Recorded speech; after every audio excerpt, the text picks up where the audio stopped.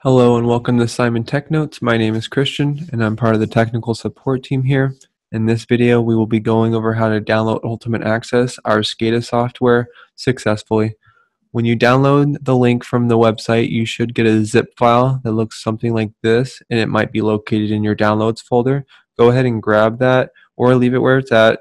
Go ahead and right click extract all and then you're going to want to extract it to that location and then you'll get an unzipped file like this. Go ahead and navigate inside. To start the download process you're just going to run this setup executable file right here.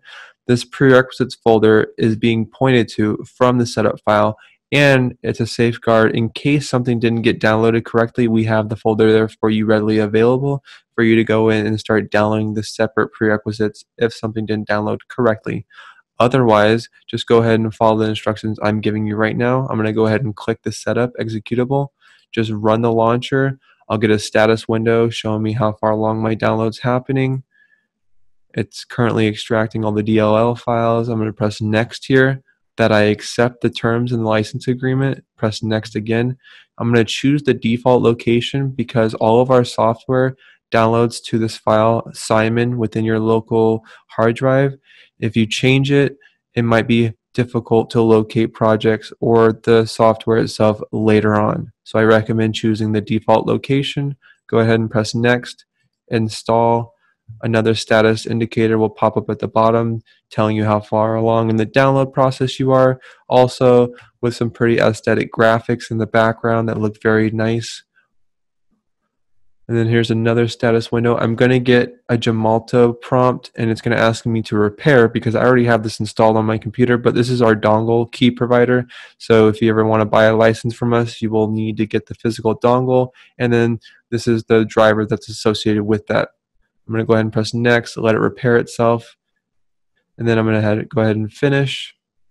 And then after that, I should be finished installing all of Ultimate Access. If I go to my search and I search in CIMON D, this is our designer component of the Ultimate Access package. And then I'll get a canvas with a nice little tutorial project that I can look at if I want to. So go ahead and open up the recent project tutorial.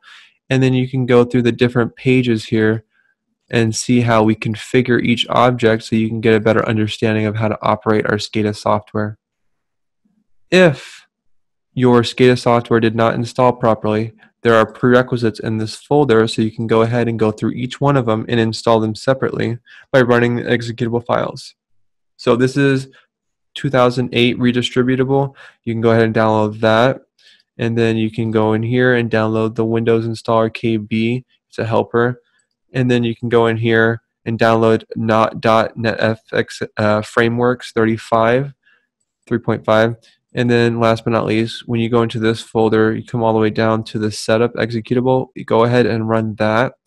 Some of these might fail, and that would mean that they, they installed on your computer properly. And if you have any other full uh, difficulties trying to download the software, go ahead and contact us at support at cimoninc.com, or you can give us a call at 702 820 1060.